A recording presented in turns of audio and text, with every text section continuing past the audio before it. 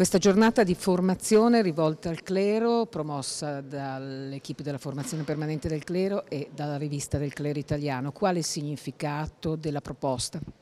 Anzitutto che la formazione del clero passa attraverso anche quello che comunque è la ricchezza anche di una cultura accademica che ci permette di dare qualità, pensiero appunto anche al cammino di formazione dei sacerdoti, soprattutto in questa epoca di cambiamenti o cambiamento d'epoca e nello stesso tempo il tema che è stato individuato insieme alla redazione della rivista del clero eh, italiano è stato quello proprio dell'importanza della parola e delle parole. Ecco, ci accorgiamo come questa parola di Dio è parola di vita, e nello stesso tempo però le nostre parole eh, rischiano di entrare in quella che è un po' la chiacchiera ecco, del quotidiano.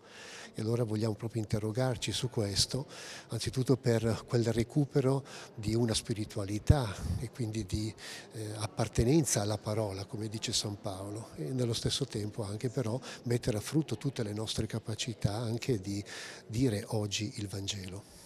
Cosa significa fare formazione, parlando ovviamente di parole, di parola, di cultura, di ironia?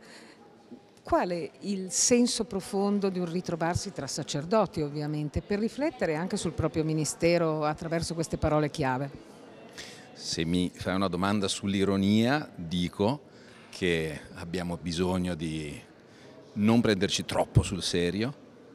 Chesterton diceva gli angeli possono volare perché non si prendono troppo sul serio. Ecco, eh, seminatore di parola che, che fa volare, eh, abbiamo bisogno di non prenderci troppo sul serio. Quindi un, un affondo sul tema dell'ironia nella Bibbia, la Bibbia è capace di ritornare su se stessa, di sdrammatizzarsi, ecco, abbiamo bisogno di, di, entrare in parole così per affrontare anche l'annuncio della buona novella. No? Anche per non scadere nelle parole ostili, come si dice proprio qui in Cattolica da molti anni, eh, promuovendo corsi per cercare di arginare queste parole eh, cattive. Anche seminare qualche punto di domanda in più rispetto ai punti esclamativi che sono sempre molto eh, dogmatici, senza possibilità di confronto. E quindi una giornata come questa vuole anche aprire delle domande, no? aprire dei sentieri, dei percorsi di riflessione, questo ci fa sempre bene. Quindi. Il significato di questa mattinata e come si posiziona la rivista del clero italiano che è uno strumento di formazione anche identitario, come dice il termine, del clero italiano.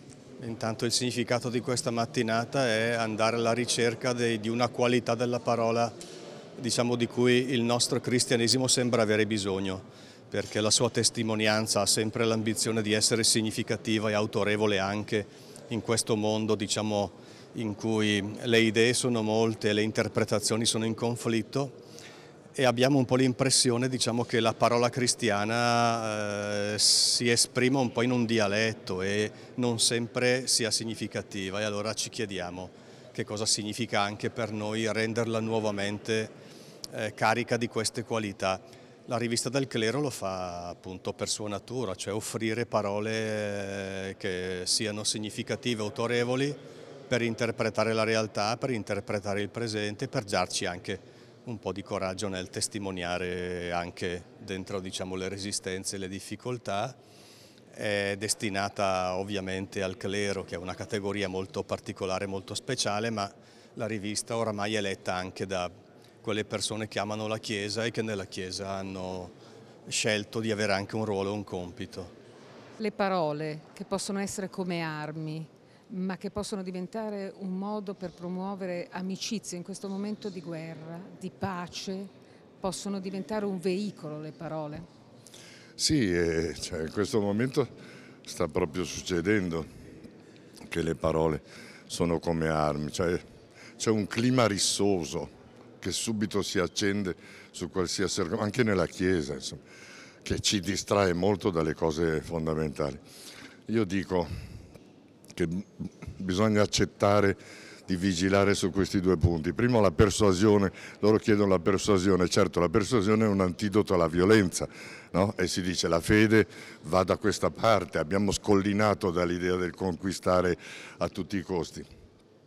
Però la persuasione è anche una brutta bestia, come sapevano gli antichi, il suo luogo principale, preferito, è il sesso e la politica, che quando attraversano la strada della persuasione diventano appunto esperienze di libertà, di ordine, ma se la persuasione diventa seduzione, diventa subito violenza, diventa eh, tentativo di impadronirsi, di impossessarsi, è la fine. Allora l'antidoto secondo me alla perversione della persuasione è l'ironia. Cioè persuasione, la strada della persuasione, ma con una grande ironia nei confronti appunto dei propri diktat, no? delle proprie convinzioni dure e pure. Ecco, un po' di ironia per lasciare lo spazio all'idea che comunque siamo tutti esseri umani e anche il credente è un essere umano che si sforza di piacere a Dio, non semplicemente il rappresentante del suo impero sulla terra. Ma l'ironia nella Bibbia c'è in quantità? Dunque l'ironia nella Bibbia bisogna mettercela noi, come quasi tutto dobbiamo mettere noi nella Bibbia, dobbiamo soprattutto mettere eh, l'amore, la fede per eh, quello che c'è scritto e dobbiamo mettere tutto il nostro sguardo, che naturalmente cambia a seconda dell'età, a seconda delle condizioni. L'ironia è, un, è un'arma che piace a, al Signore Dio, è evidente, lui stesso probabilmente ha, ha sorriso quando ha visto il risultato del suo lavoro, che siamo noi eh, ci ha fatto imperfetti e dunque l'imperfezione è la prima, la prima benzina dell'ironia perché se tutto andasse bene eh, non ci sarebbe motivo di ridere. Questo non significa che in paradiso non si stia bene, però magari un filo di ironia in più potrebbe aiutare anche lì. L'ironia può aiutare le parole che fanno male, gli scontri sulle barricate. Eh, questo è un tema difficile da affrontare perché mh, il rispetto verso le fedi eh, altrui è fondamentale, per cui bisogna stare molto attenti a non ferire la sensibilità delle persone.